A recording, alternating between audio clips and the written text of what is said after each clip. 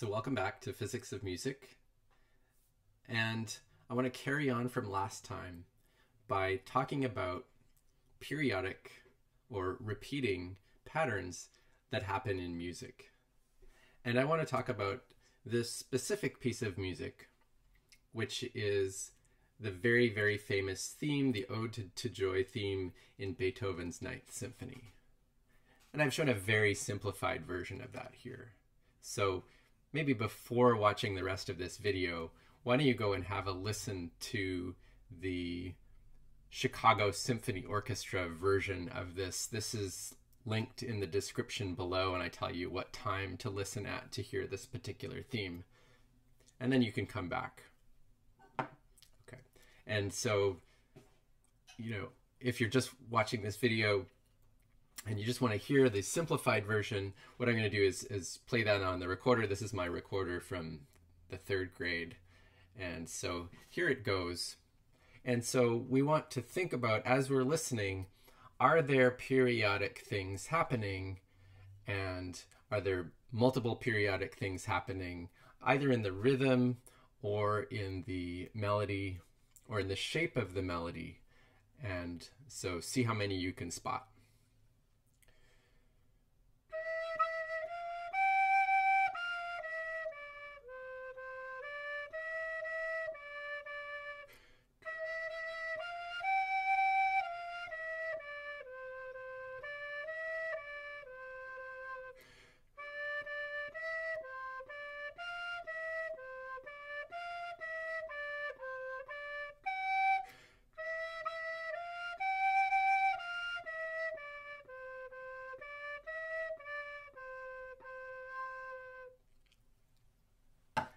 Okay, so let's talk about some of the periodic things that happened there. And probably you got some some of them. See how many of these things that you you picked up on. Well, first before we think about the notes that I played, let's actually just think about the rhythm of the tune. And so basically we had a note happening almost every beat during that song, and so the rhythm was almost perfectly periodic. Bum bum bum bum bum bum bum. The only difference in rhythm throughout the song was uh, the half note at the very end of each set of four measures, and so the full rhythm had a period that lasted uh, that, that perfectly repeated in this simplified version at least every four measures okay and that that full rhythm was two, three, four, one, two, three, four, one, two, three, four, one, two, three, four, one, two, three, two, three, four, one, two, three, four, one, two, three, four. So so that was uh, repeated four times during the whole song. Another slightly more subtle point is that when I played this, or when it's usually played, there would typically be a slight emphasis on the note at the start of each measure. And so if if you listen carefully, it would be a little bit like this.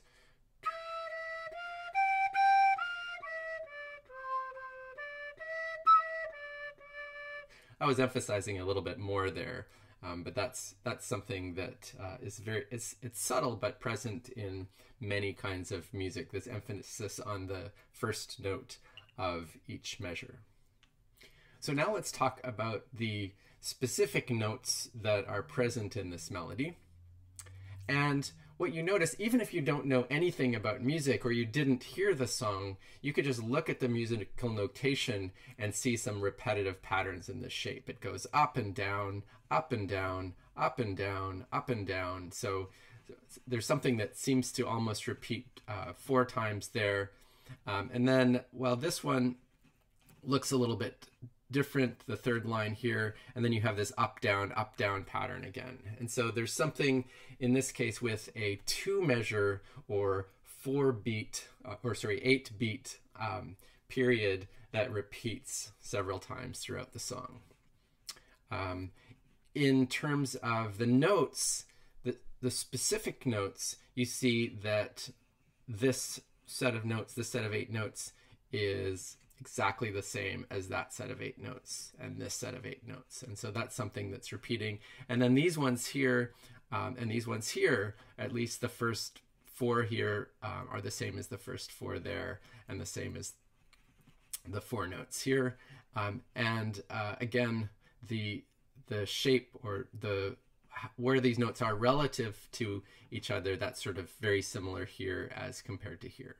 Okay, and then if you look at the third line, there's actually a repeating theme as well. So if you just ignore the second note here of of this bar and this bar, then the other ones are the same. Bum bum bum bum bum bum bum.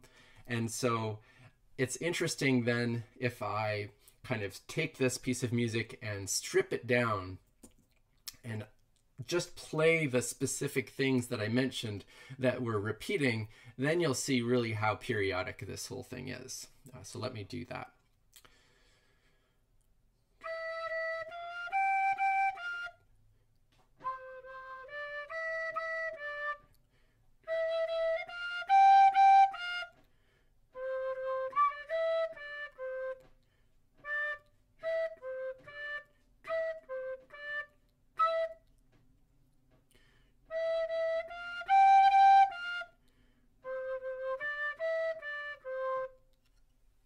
Okay, so I played more than half of the notes in that song, and it was really just one thing that happened six times and another thing that happened three times. And those things were very simple uh, sets of notes. And so, in terms of the basic structure of this piece, it's built out of simple repeating patterns. And yet, it is one of the most memorable themes in all of, um, well, certainly all of Western classical music. So, just a, a, another thing to point out is that we don't necessarily want to have as much repetition as possible. So, in, in constructing an interesting piece of music, um, not only the repetitions or the the periodic events. Um, it's not just that that's important. It's some variation from being exactly periodic. And so, for example, I've noted here just a couple of examples where you have something almost periodic, but then it's a little bit different. This one is a little bit different than the rest. And then in the in the rhythm in the real version, the rhythm is slightly different than than the one I've made here. And so it seems that what makes music interesting is combination of periodic patterns and then variations um, or differences from that periodicity. Okay, but you don't want to go to the other extreme of having absolutely no periodic, um, nothing periodic in either the rhythm or the melody. Uh, if you want an interesting example of that, you can have a look at this video, uh, I, which I found recommended to me on YouTube. And this is something where mathematicians tried to construct a musical piece with absolutely nothing periodic, absolutely no repeating patterns. And so you could hear what that sounds like.